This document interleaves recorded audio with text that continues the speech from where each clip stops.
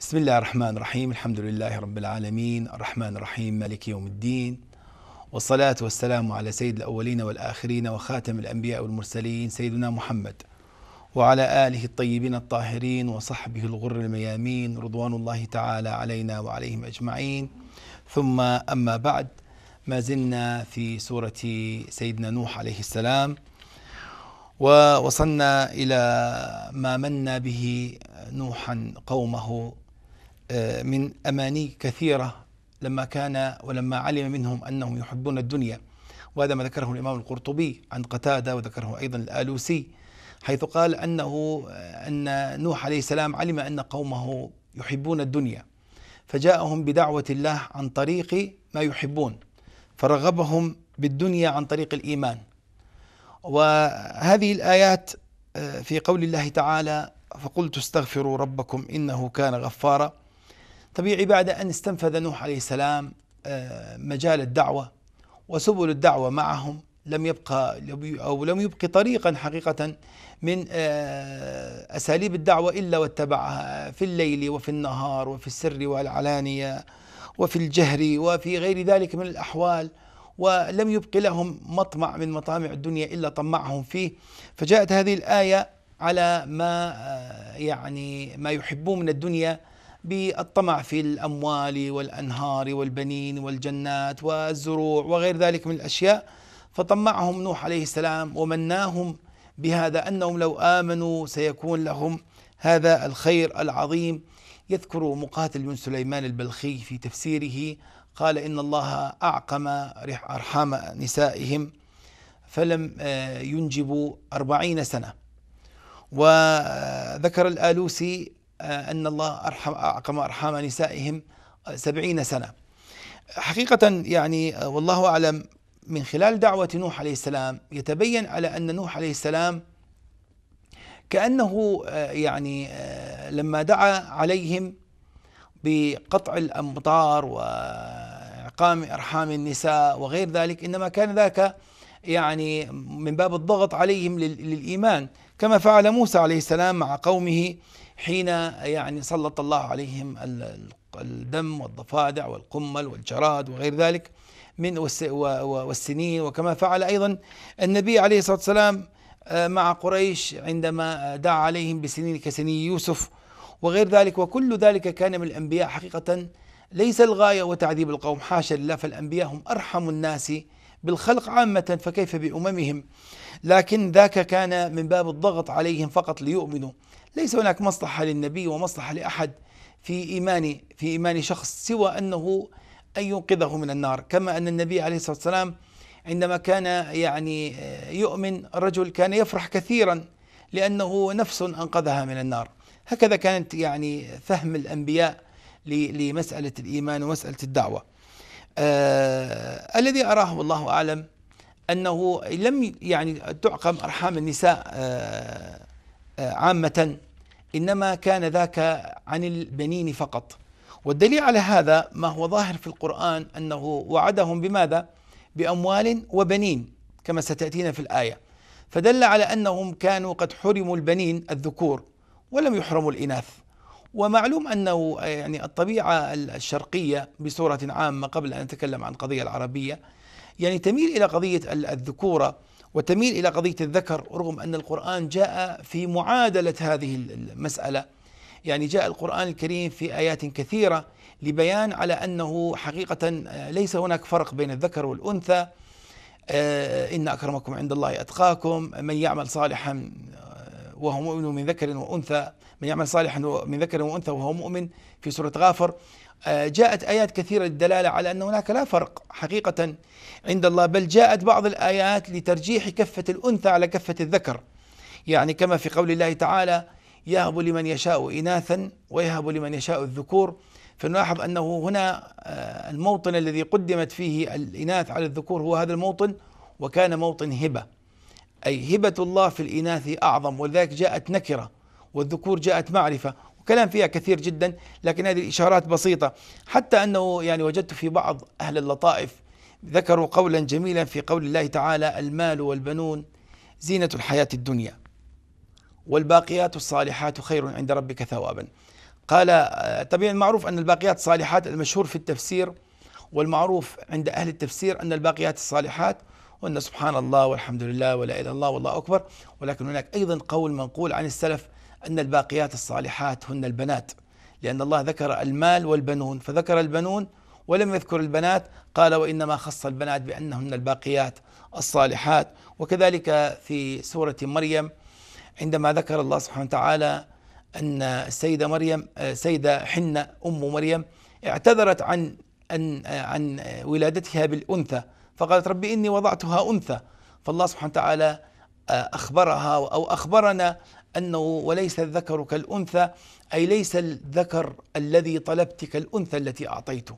فكأنه فيه إشارة إلى إلى مكانة الأنثى هذه وهي السيدة مريم حقيقة كانت آية وصديقة وكانت آية من آيات الله كما قال تعالى وجعلنا ابن مريم وأمه آية. نعم. آه وكذلك يعني ورد في حديث عن النبي صلى الله عليه وسلم وإن يعني ضعفه البعض لكن آه ورد فيه أن من يمن المرأة تبكيرها بالأنثى. أن يمن المرأة أنه إذا جاءت أول مولود أنثى. وهذا حقيقة معروف في في مجتمعاتنا العربية أن الأم إذا جاءت أول مولود بأنثى آه، تكون مساعدة وتكون أم ثانية. آه، تربي الأولاد وتعين الأم على تربية بقية الإخوان يعني. حتى أنه ورد في في آثار كثيرة عن النبي عليه الصلاة والسلام أن الأخت الكبيرة تعامل أو أو لها مكانة آه، كمكانة الأم لما لها من الفضل في التربية والمكانة. وإن كان إحنا أبعدنا عن الموضوع لكن الشاهد هنا أنه آه، ما قاله مقاتل في أنه أعقم أرحام الله أعقم الله أرحام نساء نسائهم. أنه آه، الله الله أعلم فيما أراه أنه أعقمهم عن البنين. والدليل على هذا أنه رغبهم بماذا؟ بالبنين. وكان هناك البنات. نعم. قال فقلت استغفروا ربكم إنه كان غفارا.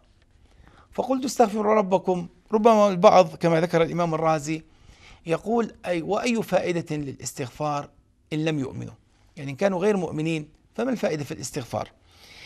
أولا سيدنا نوح عليه السلام يعني ذكرهم وأمرهم بالإيمان قال نعبدوا الله واتقوه وأطيعون.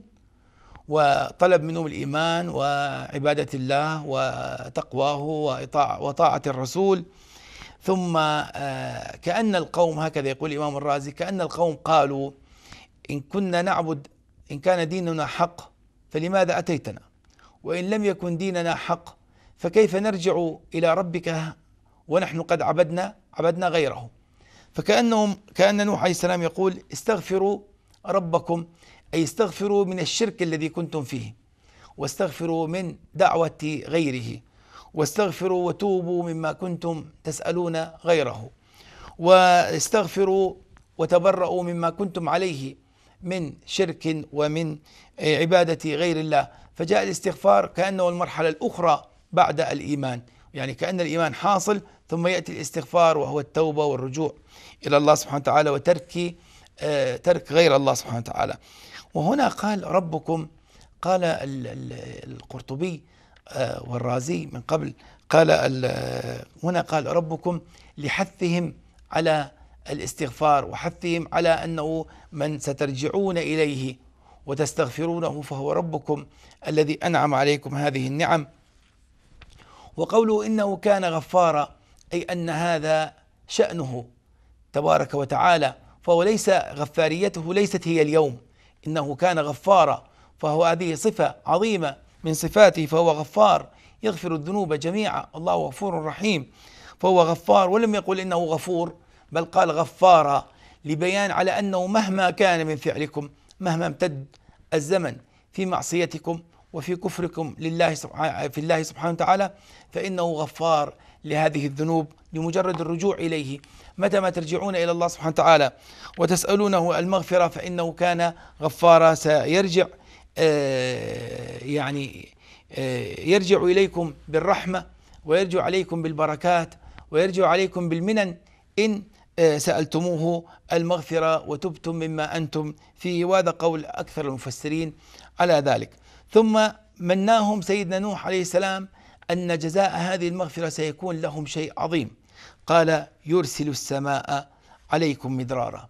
يرسل أن معلوم أن الغيوم يعني آه، البعض يقول آه، الشمس هي نفس الشمس والبحار هي نفس البحار والتبخير هو نفس التبخير. فما بال أنه أيام أو سنوات تأتينا يكون الشتاء قليلا أو المطر قليلا. و أو الغيث قليلا سنتكلم عن المطر والغيث والشتاء. نعم. آه، يكون الماء قليل النازل من السماء ومرات يكون الماء كثير رغم أنه نفس الظروف هي مهيئة في كل سنة. آه، كلمة يرسل على أن الله سبحانه وتعالى قد يرسل الغيث بقصد ويرسل الغيث بقصد لمكان معين فربما تسقى مكان من بين أماكن كثيرة. وقد تكون محاطة بها لكن هذه المكان ينالها الماء وهذه الأماكن الأخرى لا يأتيها الماء لأن الذي يرسل ويحرك ويسوق السحاب هو الله سبحانه وتعالى. كما قال سقناه إلى بلد ميت فالله سبحانه وتعالى هو الذي يأمر السحاب في فيساق السحاب تسوقه الملائكة حيث يريد الله سبحانه وتعالى. فكأن نوح عليه السلام قال أنه إيمانكم واستغفاركم لله سبحانه وتعالى فإن الله سيسوق إليكم السحاب. آه، يعني خصيصة لكم سيرسل عليكم. فقال يرسل من أرسل أي أن الله هو الذي سيأمر السحاب فيأتيكم ويرسل السماء عليكم والسماء هنا المطر أو الماء لأن لفظ السماء يأتي يعني في القرآن بمعاني كثيرة من تقريبا ست معاني. يعني ذكرها أبو عبيد القاسم بن سلام في كتاب التصاريف. وذكرها أيضا ابن الجوزي في نزهة الأعين النواظر فالسماء تأتي على معنى السماء المعروفة كما قال تعالى في سورة البقرة ثم استوى إلى السماء فسواهن سبع سماوات والسماء قد تأتي على معنى آه الغيم الغيم قال قال وأنزلنا من السماء ماء يعني أنزل الله من الغيم ماء. والسماء تأتي على معنى المطر كما في هذه الآية يرسل السماء عليكم مدرارا من درة الناقة أي كأنها متتابعا وسنتكلم عن لفظة مدرارا والسماء أيضا يأتي على معنى الهواء كما في قوله كشجرة أصلها ثابت وفرعها في السماء. ويذكر ابن جوزي أيضا أن من معاني السماء أنها سقف الجنة وسقف النار. لأن الله ماذا قال عن الذين في الجنة وفي النار؟ قال خالدين فيها ما دامت السماوات والأرض.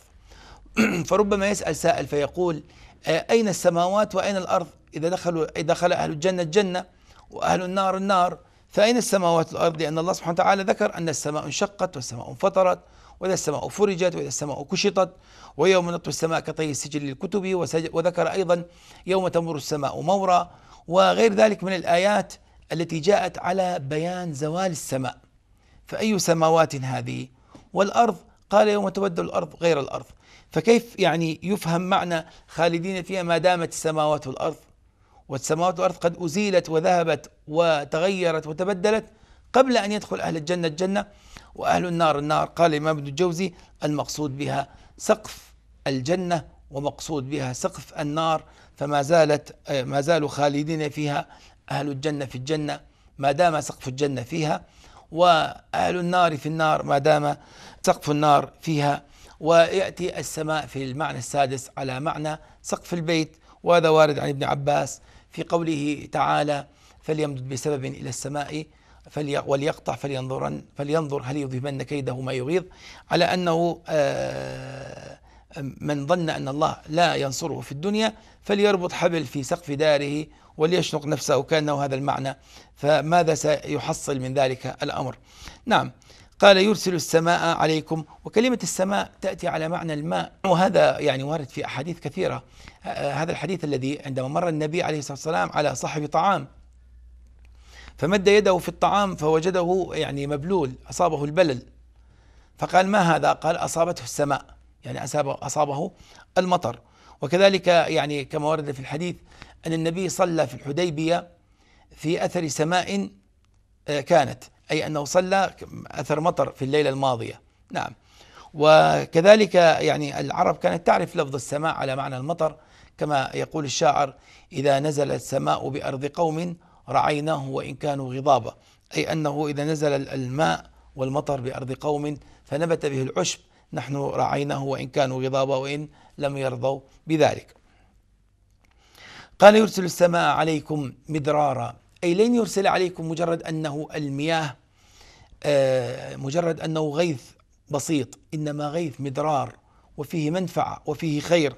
يقولون أنه يوم الأيام عمر بن عبد العزيز وقيل أن أحد الصالحين لكن الرواية المشهورة أن عمر بن عبد العزيز يقول كان يسير مع الخليفة آه، عبد الملك يقول فأرعدت السماء رعدة شديدة مطر تمطر الدنيا يقول فخاف.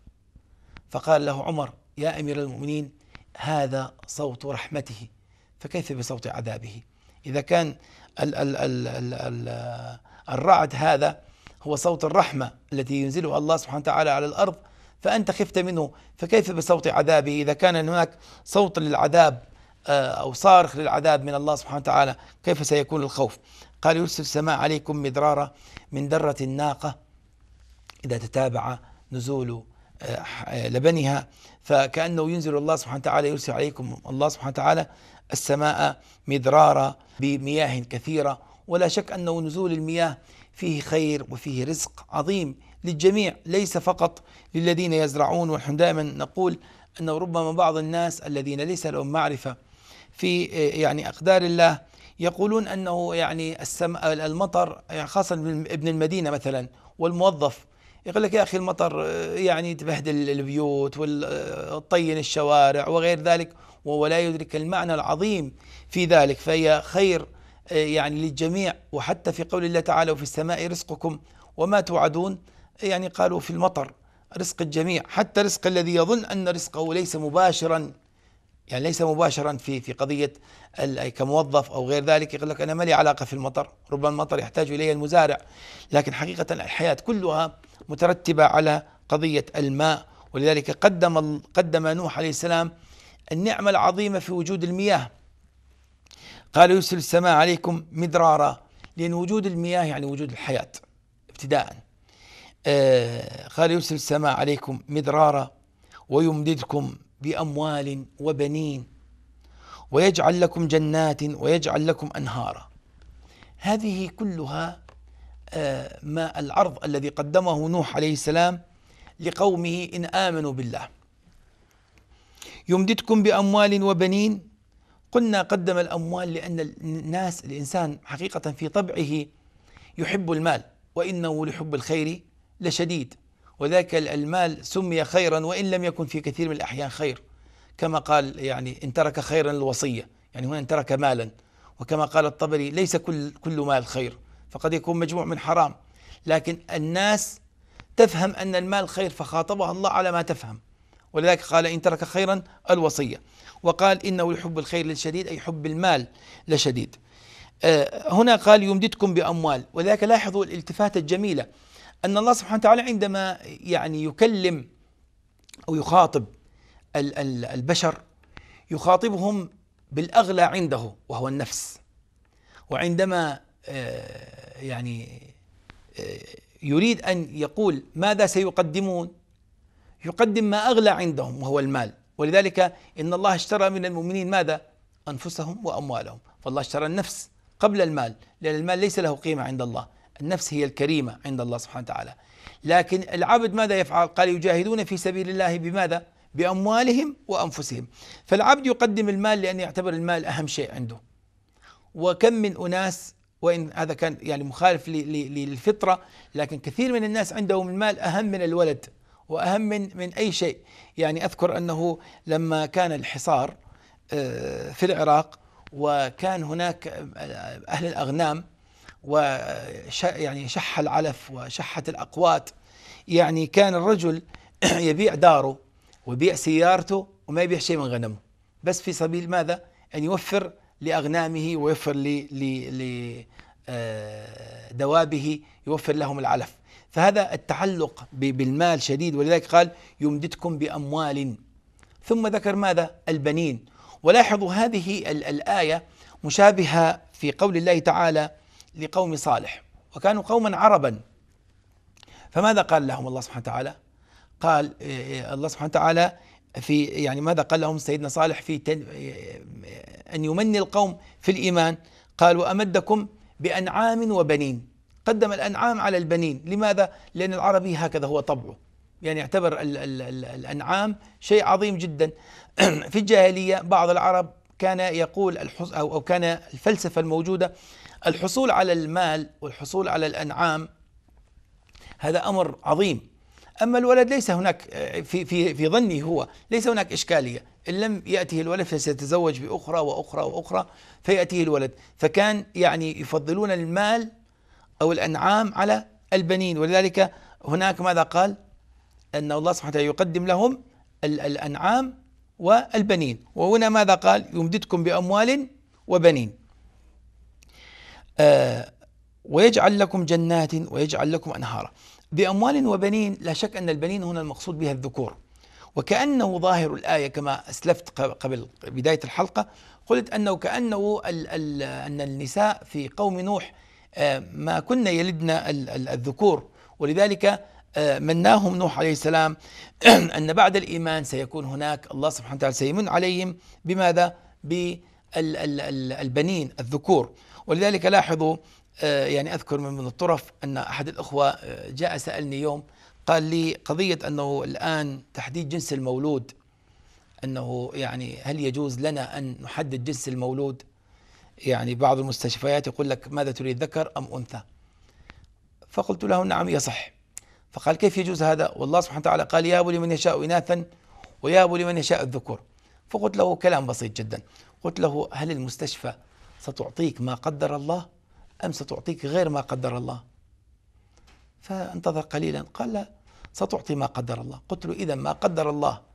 إن قدر الله لك أن يكون ذكرا فسيأتيك الذكر. وإن قدر الله أن يعطيك أنثى فلو سبعمائة ألف مرة تعمل عملية اتفصل لن يأتيك إلا الأنثى. وهذا أمر طبيعي يعرفه إخواننا الأطباء أنه حتى حتى مسألة الفصل ليست قطعية مئة بالمئة. إنما يعني فيها حيز كبير جدا للإخفاق في قضية الاختيار. ولكن نقول لمن جعل الله له آه، آه، ذكرا في هكذا عملية فليعلم أنه من تقدير الله وليس من عطاء المستشفى. نعم قال ويمددكم بأموال وبنين ويجعل لكم جنات ويجعل لكم أنهارا. لاحظوا هنا قال يمددكم بأموال وبنين. ما قال يمددكم بأموال ويمددكم ببنين؟ إنما جمع الأموال والبنين في يمددكم فقط. بينما للأنهار قال ويجعل لكم جنات ويجعل لكم أنهارا. ما قال ويجعل لكم جنات وأنهارا.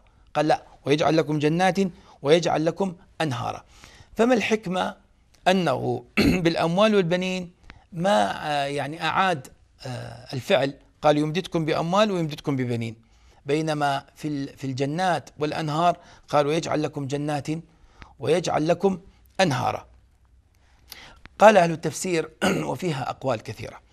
لكن منهم من قال على أنه التغاير الموجود بين الأموال والبنين هناك تغاير بين الأموال والبنين. ولذلك قال يمددكم بأموال وبنين لأمن اللبس أنه لا يلتبس الأمر بين البنين وبين الأموال لأنه هذه غير هذه.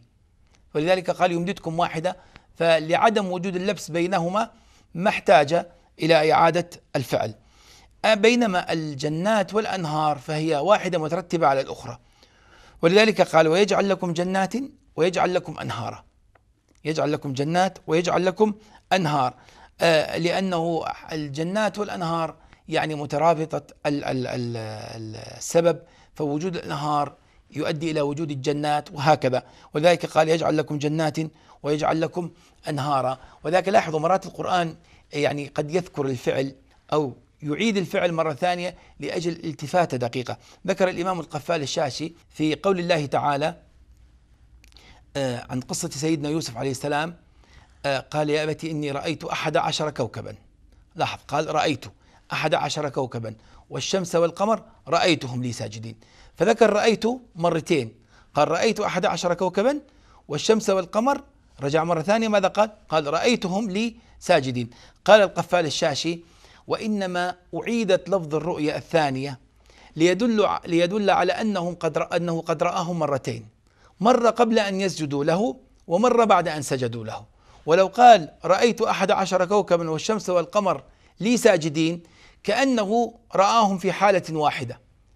ولا ولا يعلم أنه هل سجدوا له أم لا لأنك لو دخلت إلى قوم وهم كانوا جلوس فلما رأوك قاموا لا, لا تقول أنك قاموا لأجلك أنه أنك رأيتهم هم جلوس ثم رأيتهم أنهم قاموا لأجلك. ولو دخلت على قوم وهم كانوا قيام لا تستطيع أن أن تقول قاموا لأجلي لأن ما رأيته ما رأيتهم أنت في حالة الجلوس. ولذلك إعادة الفعل كان فيه إشارة لطيفة وفي الكلام بقية إن شاء الله. يعني آه، نجعله في الحلقة القادمة. إذا من الله علينا. إلى ذلك الحين نستودعكم الله والسلام عليكم ورحمة الله وبركاته.